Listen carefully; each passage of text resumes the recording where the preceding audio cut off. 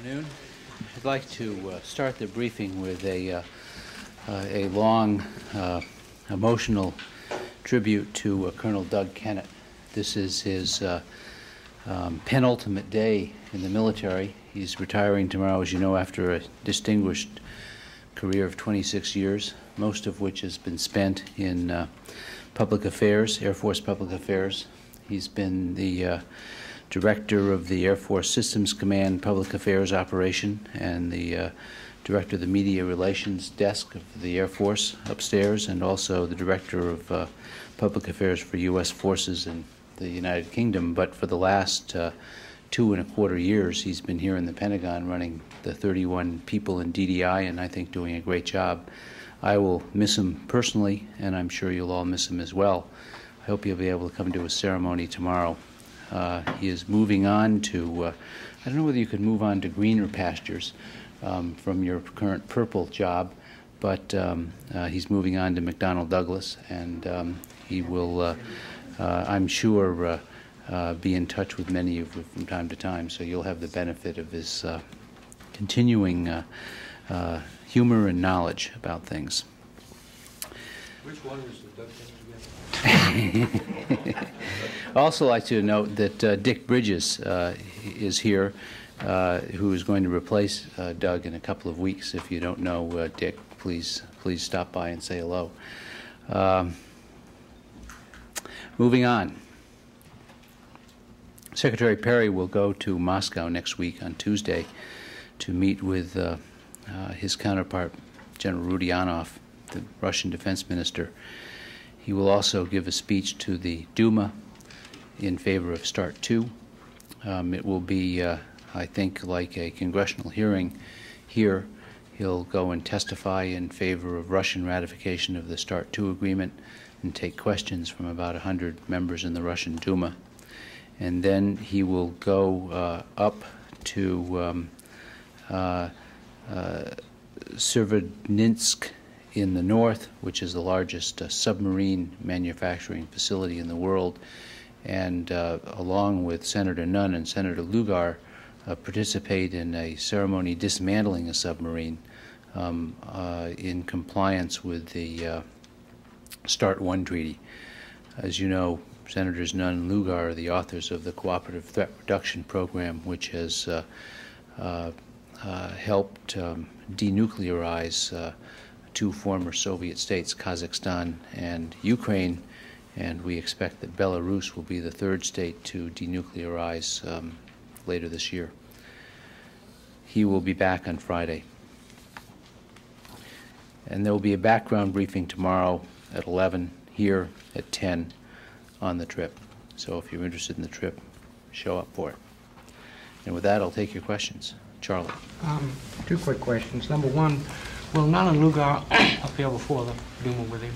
on the scene? Um, I believe they uh, will be at that event, um, but uh, the, uh, the secretary will be doing the testifying and answering the questions. And Number two, on the chemical arms thing, says, uh, has the CIA indicated further whether, when the model will be over here? And if not, have they indicated, given you any indications at all, how many thousands of extra troops uh, it might uh, indicate be in some danger? No, let me uh, explain to you where, where the CIA model stands. Um, the uh, director of Central Intelligence, John Deutch, decided that um, this model should be subject to uh, peer review. And uh, he and uh, John White, are, the Deputy Secretary of Defense, are in the process of appointing a panel of uh, experts who will review uh, not only the model itself, but the whole challenge of how do you analyze dispersion patterns uh, of an event that happened uh, five years ago, five and a half years ago. Um, I hope this will be done relatively quickly. Uh, our hope is that it will be done relatively quickly, but there will be um, a, a time to appoint this peer review panel and have them go through the uh, uh, both the computer model and the evidence that we have The uh, CIA model is actually a variant of a model that was developed by the Army. Um, And as I say, the Director Deutch decided that it should be subject to peer review, so that's the next step. What do you mean by reasonably quickly? What do you mean by reasonably quickly? Days, weeks, months? Well, sir, I would guess not months. I would guess probably weeks. But given, um, uh, given my, uh, my inability to predict this so far, um, I'm not going to allow you to pin me down to a precise time on this. But it'll be done as quickly as it can be done. We're dealing with scientists. Um, uh, They'll need some time to ramp up. Uh, They'll need some time to come in and, and uh, survey the information. Will there be video on this information? Sorry? Some- Will someone shoot video of this group meeting? And if we wanted to get video of this group, You want to see a bunch of scientists sitting around a table?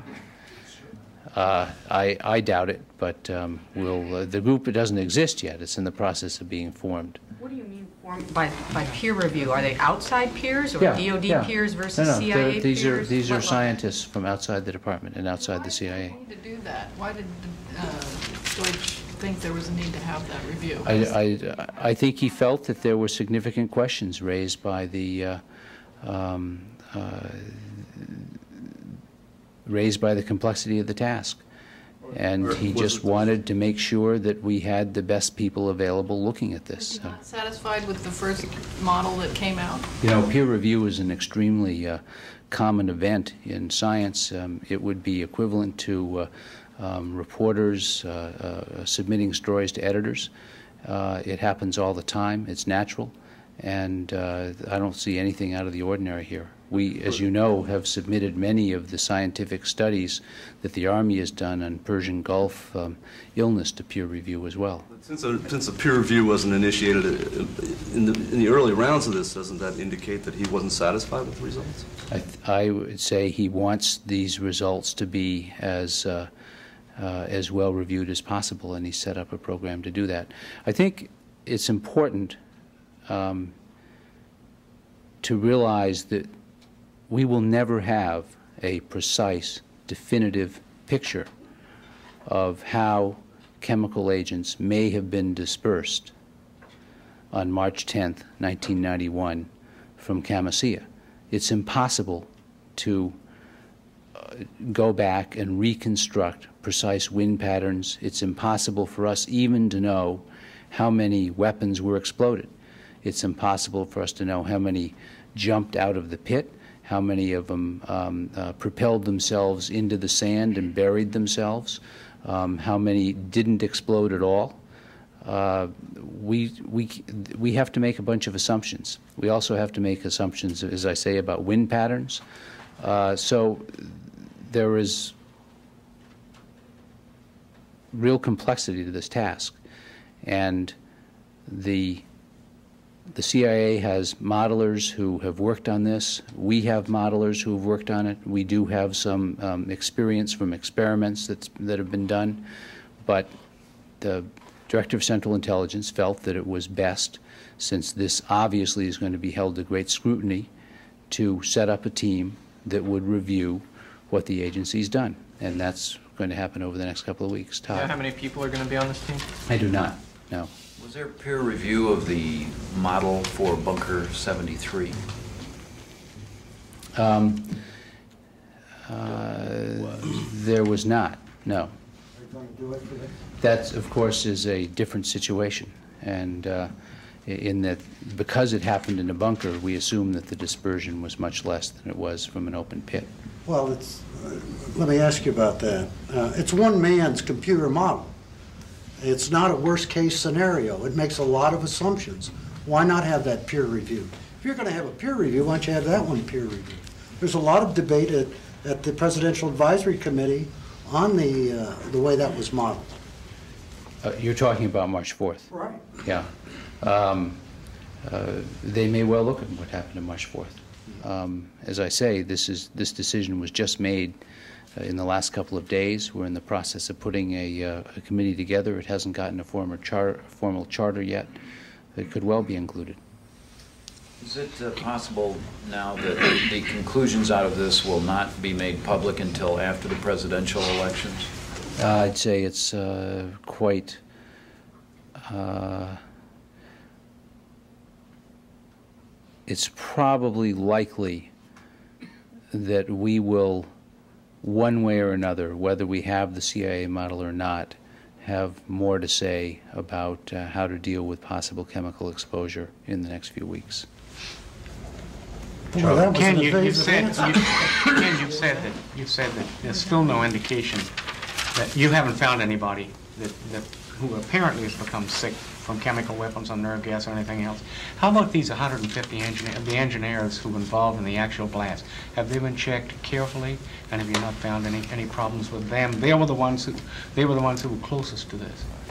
Uh, You're talking about the people at March 4th? The people who actually, one. that's right. Well, as I say, we have not yet found um, a clinical link between exposure to chemicals and Gulf War illness, but that's the issue, and that's what we're looking at. We're in the process of, there were, um, we think, um, uh, about 1,100 people who uh, could have been in a, in a wide area after Khamisiyah 1 uh, who could have been subject to low-level exposure. We're trying to contact them by phone. We've contacted about 500 people so far.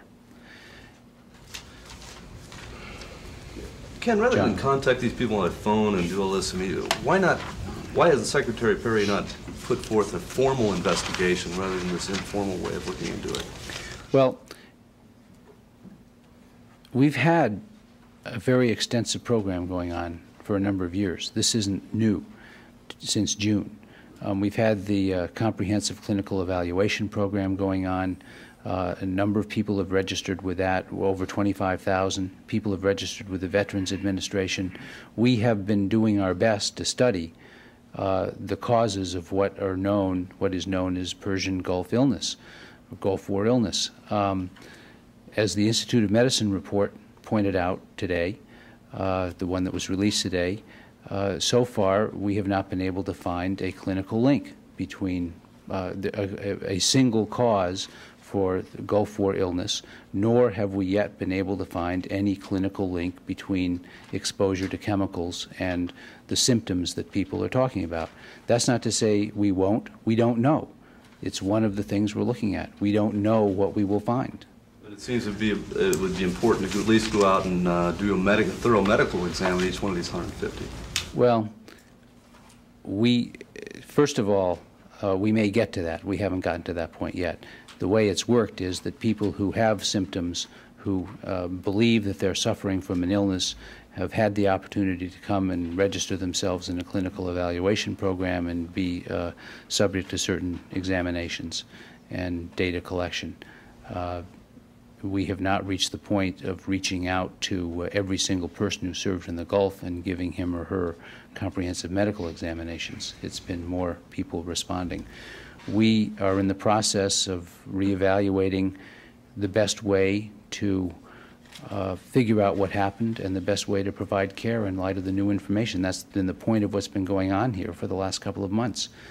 Um, it's a massive undertaking, but we're, that's what we're looking at, and that was some of the White initiatives of several weeks ago were designed to do that. Ken, I'm, I'm somewhat puzzled by what you said a moment ago, that prior to the final peer review, you expected more information to come out about potential exposure uh, to a group. What? No, I would say more information on how we're dealing with the question of potential exposure.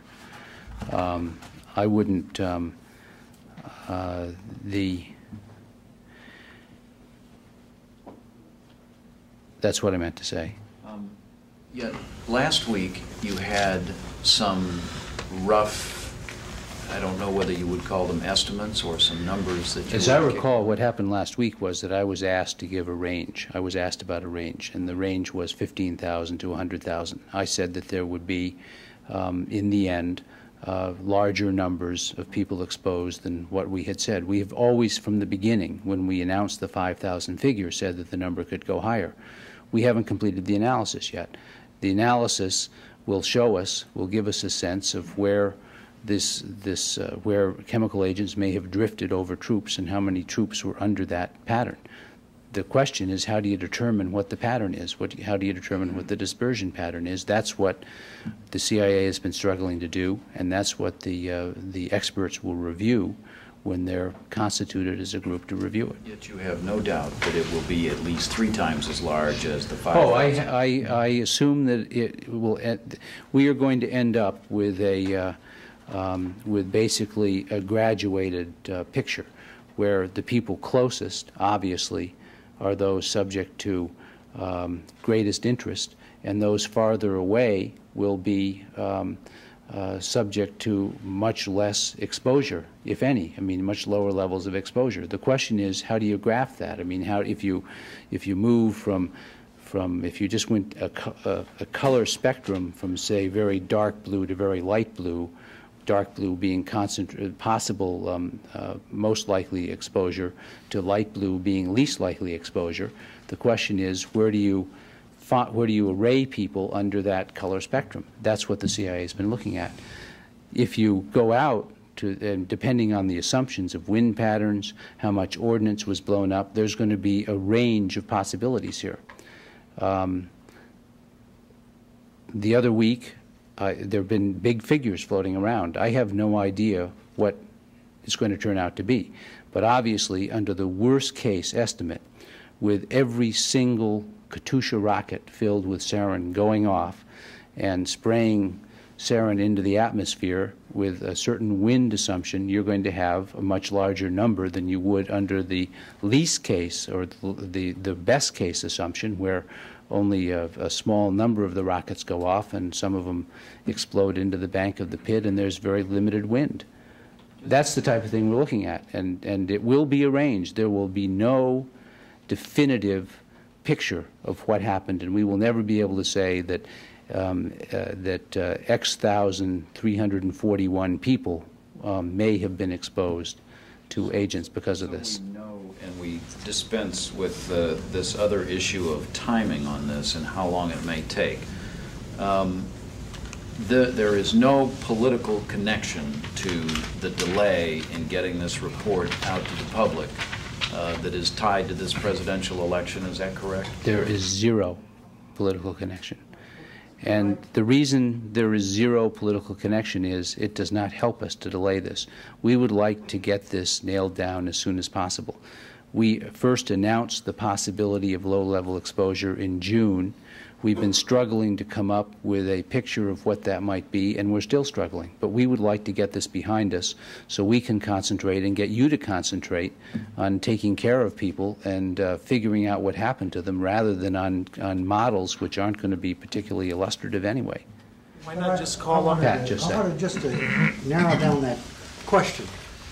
As I understood his question, uh, you're not going to have this model ready before November 5th, is that right? I For don't know. release to us? I do not know. I have no idea. Is that, well, you indicated you were going to have some information before that, but not the model, the I peer said I review. do not know when the model will be ready. A couple, two weeks, three weeks? Is it possible? Not knowing means I can't give you a time. Is it possible it'll be after November 5th? I do not know when the model will be ready. It's possible, then? I can't say. I don't know. We would like to get this done as quickly as possible. Look, it doesn't help us to be out here. There have been there have been uh, there have been estimates in the press that have gone up to uh, uh, extremely large numbers, and. Um, uh, it doesn't do us any good to have this uncertainty hanging out there. We would like to get the best estimate we can and go on with our program. Uh, if- On the March 4 uh, event, Dr. Joseph said four to 5,000 troops were in the area, uh, the radius on March 4. Uh, And that he was identifying, uh, he had identified and was contacting these units. Uh, Last Tuesday, we asked to have those units identified. Can you identify those units from March 4? Uh, Yes, the uh, units from March 4th were the 37th Engineers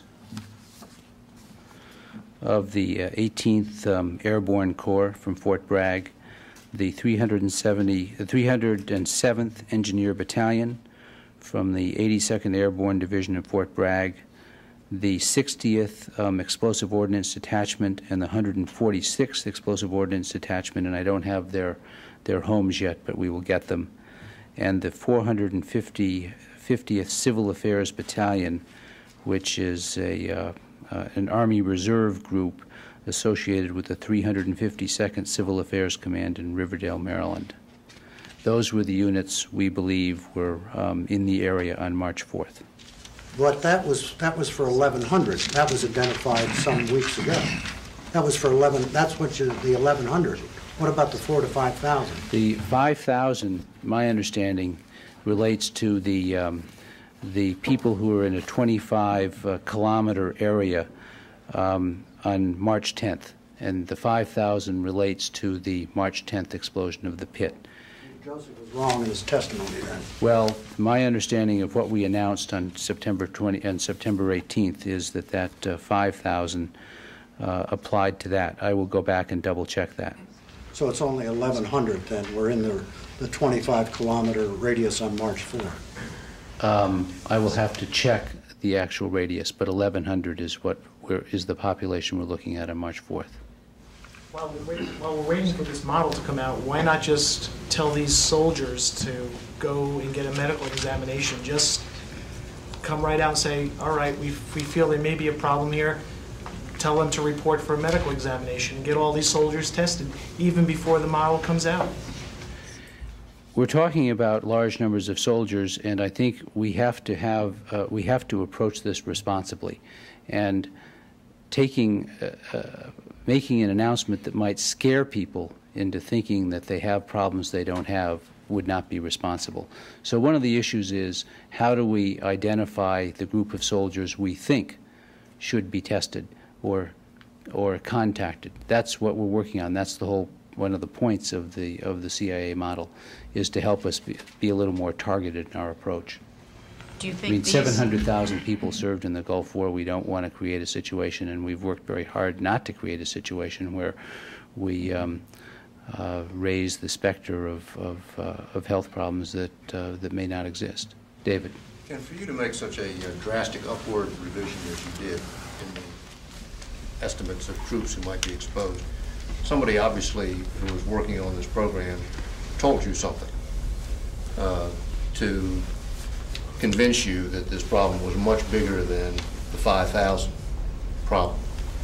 What is it that you learned to convince you that the, the estimate of number of troops exposed had to be so drastically revised upwards? The question is level of exposure. And if you, given certain assumptions of wind, of, of amount of ordnance exploded, um, uh, and the direction of the wind, um, uh, the num- depending on those assumptions, the numbers can vary over a wide range. I think ultimately what you're likely to get is a range of possibilities. And um, I can't give you precise figures as to the range of possibilities, but um, But you knew that when you were, back when you were making uh, estimates of 1,100 and uh, I didn't know that, as a matter of fact. Um, I had no information about the CA model back then when we talked in June or when we talked in mid-September about this. But I think the, um, the lesson that, uh, that I should learn from this and that we all should learn from this is that we should probably wait until we get better information about how the dispersion might have worked before we speculate.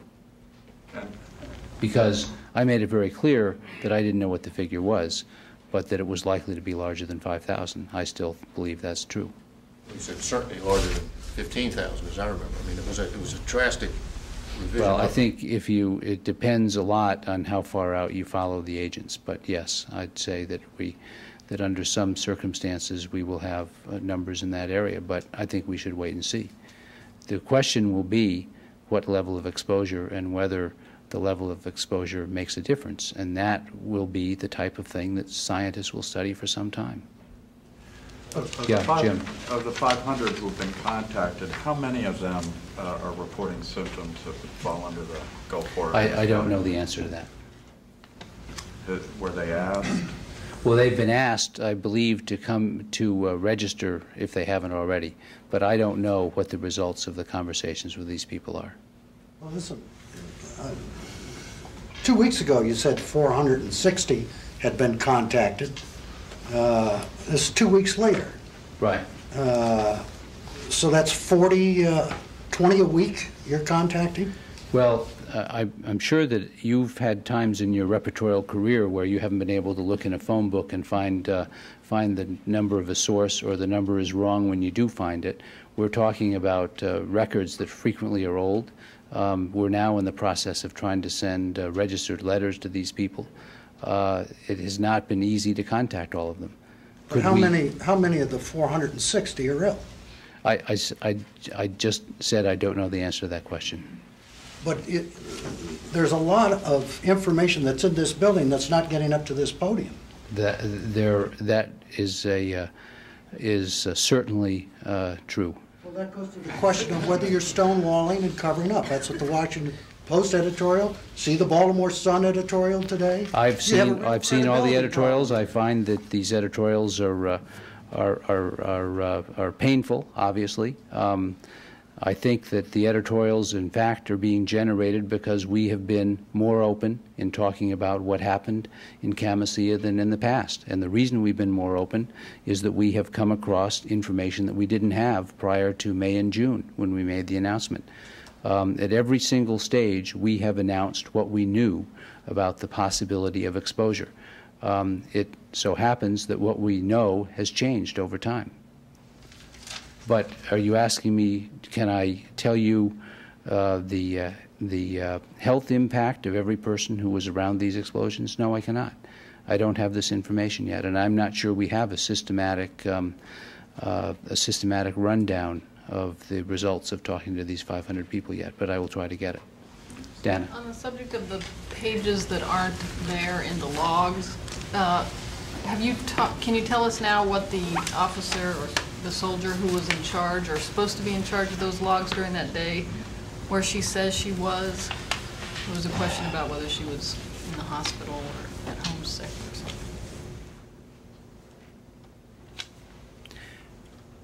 I don't have a complete picture of, uh, of what, if anything, happened to those logs, and I think until I do, I'd rather not speculate based on what um, one or two people may have told us. I'm not even asking you to, I'm not asking for a complete picture or for you to speculate, just to say what the soldier who is supposed to be taking care of the I have logs in that- conflicting information about those logs, and until I resolve the conflicts, I would rather not uh, talk about the conflicts in public. I'd like to see if we can get them resolved. Suzanne? Different subject? One more question. Yes. Uh, re- Regarding the uh, $5 million for the low-level studies, how long do you think it will be before there's any conclusion or whether you can tell whether you can be sick from low-level exposure? I think these studies will go, on- probably likely to go on for some time, but I can't give you a precise time on that. Can you give us just a, a- a general reaction to the, uh, the Institute of Medicine report released in their, in their main conclusions, particularly about lack of adequate record keeping and, and their other, whatever you think is the main finding of that report? If we had better records, um, tracing down this mystery would be a lot easier. Um, We're, we welcome the finding, we welcome the recommendation. We're in the, uh, uh, in the process of trying to develop a, uh, an electronic medical information system that can be uh, contained on a chip in a soldier's ID card, a sailor's ID card. Um, We're not there yet. That will make, um, uh, will make it much easier to uh, keep track of medical trends and events. Uh, You may recall that um, in January, in the early days of the Bosnia deployment, we had the Surgeon General of the Army come down here and talk about medical care in Bosnia. And one of the points he made was that we have learned a lot since the Gulf War. Uh, uh, for instance, in Bosnia, we uh, pre-deployed uh, uh, doctors uh, well before the soldier before the soldiers got there, in order to do surveys of environmental and other health conditions. Um, we've done a better job of checking soldiers out before they deploy, during the deployment, and part of the program is to check them out after they come home from the deployments more systematically and more aggressively than we did after the Gulf War. So we have learned from that, and um, when we're able to marry up uh, more careful uh, clinical um, evaluation and care with an electronic record-keeping system, uh, we'll be in a much better position to uh, uh, track down, we hope, uh, the types of, of patterns that we've seen after the Gulf War. But we're still dealing with paper records, and as is, I would say, almost the entire medical care system in the country. How significant do you think the finding is that, that there was no evidence yet to, uh, to link chemical exposures to the illnesses or any, uh, any evidence that all of these illnesses were in fact related to the Gulf War? We have, um, that preliminary finding was announced by the Institute of Medicine uh, last year, I believe. This basically reiterated that finding. Um, we, one of the frustrations here is that uh, we have not been able to find a, uh, a common cause for the symptoms that are described as Gulf War illness. Uh, we don't have an explanation.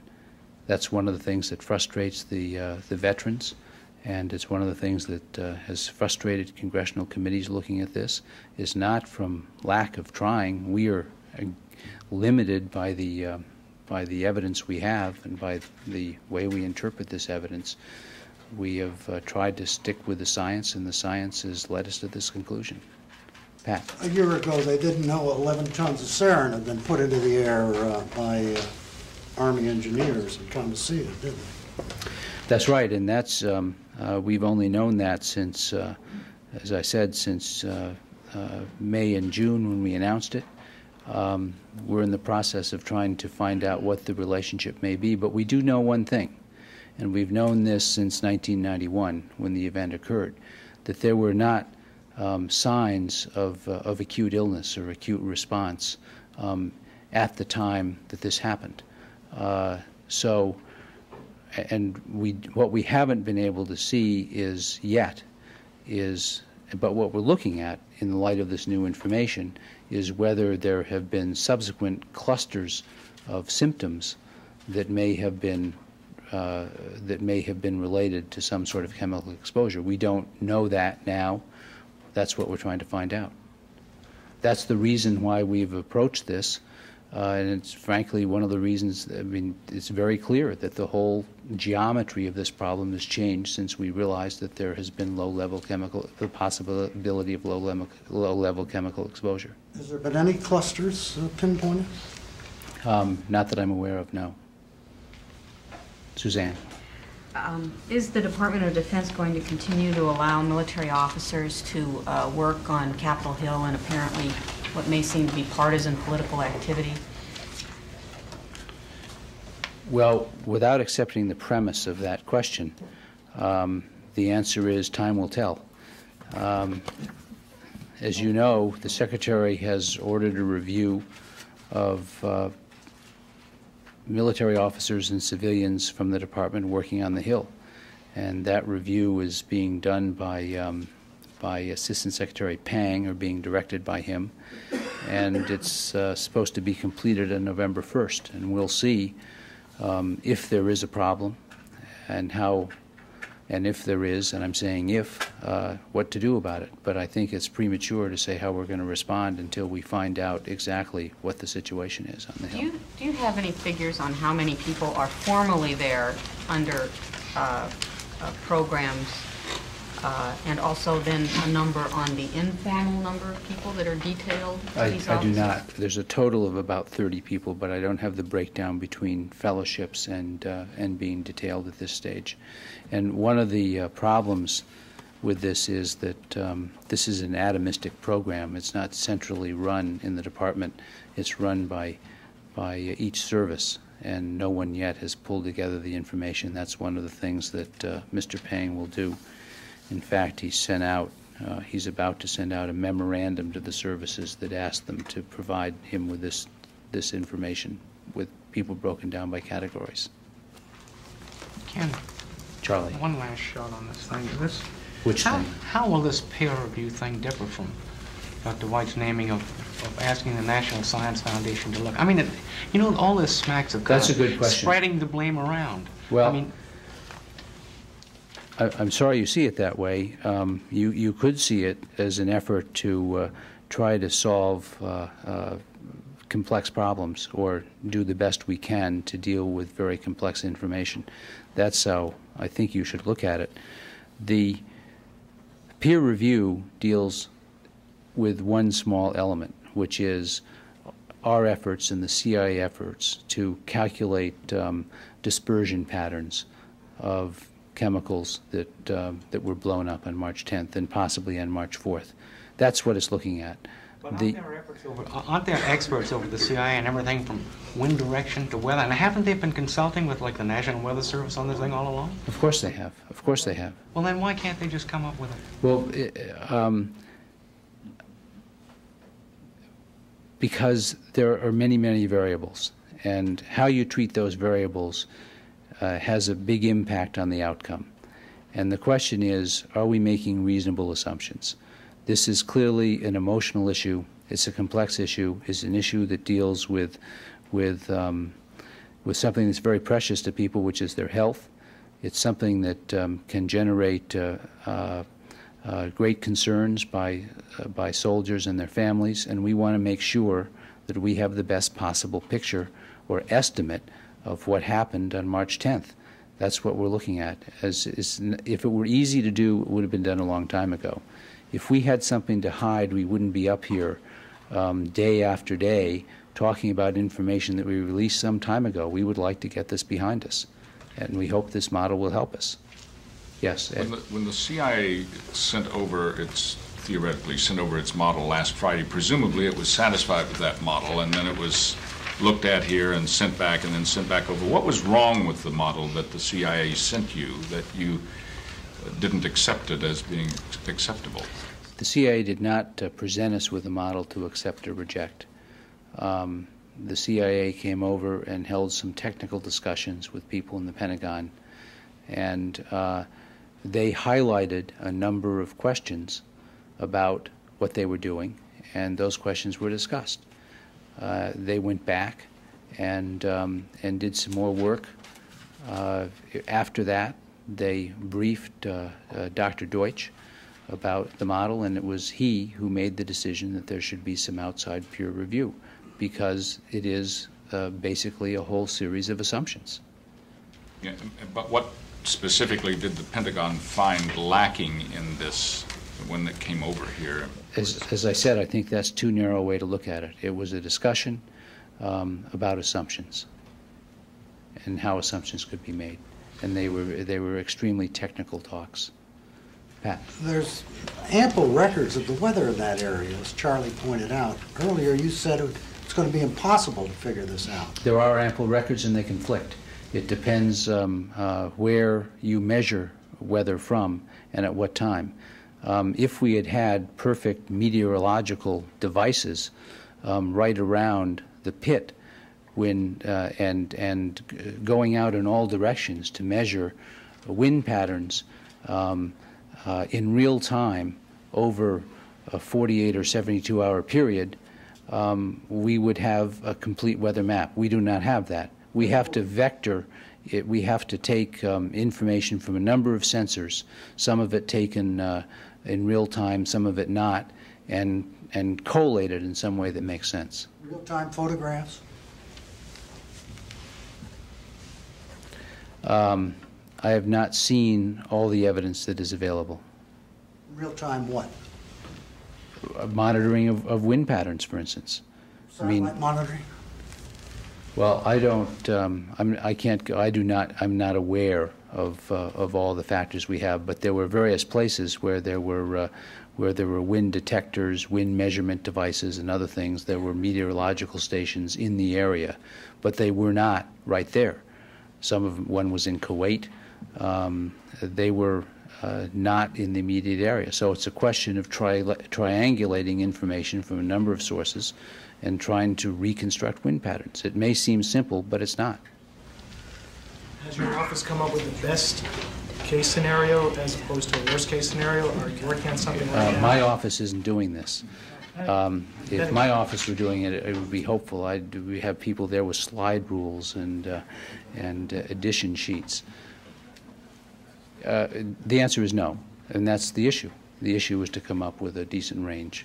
Apart from Khamisiyah, the chemical logs show many detections or indications of detections in the early days of the war in January and February by the French, by the British, by Americans, by Czechs.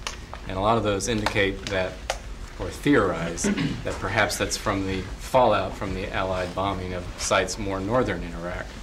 Uh, is there any research going on in this building or the CIA as to the possibility of, of that, those destructions of sarin gas and mustard gas drifting down over the battlefield some 150, 200 miles further south? Not that I'm aware of. Those were the issues that were, uh, that, that arose in 1994 and 1995, whether there had been any exposure. Um, We knew. They did model that. we knew that, um, and what did they find? No. It's in the model.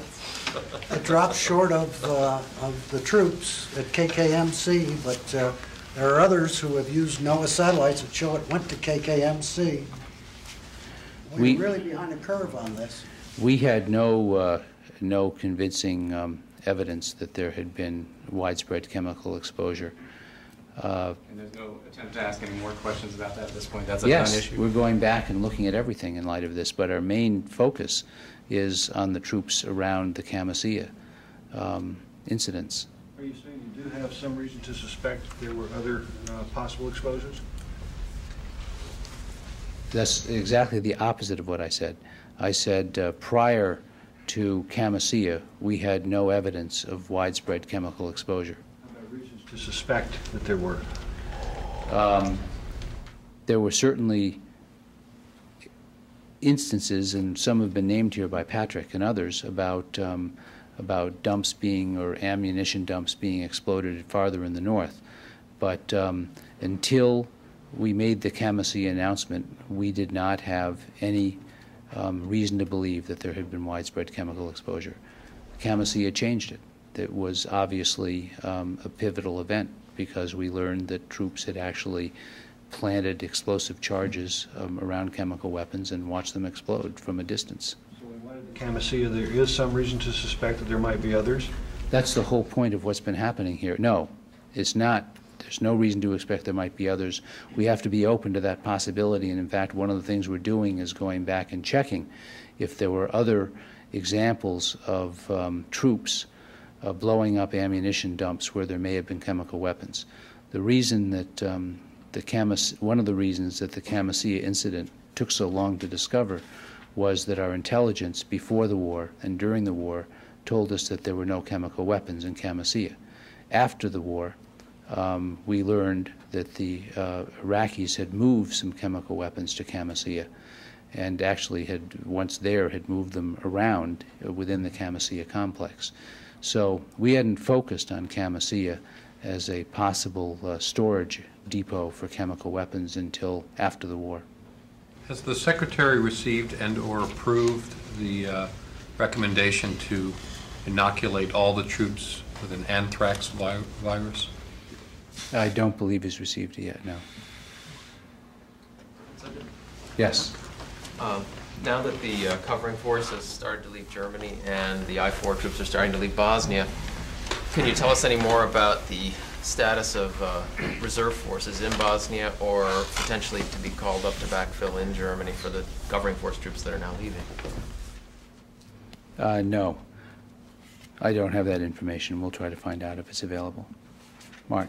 The scope and purpose of this uh, internal Air Force review of the Khobar Tower bombing uh, that was done in parallel with the Downing report was, and who authorized it? Um,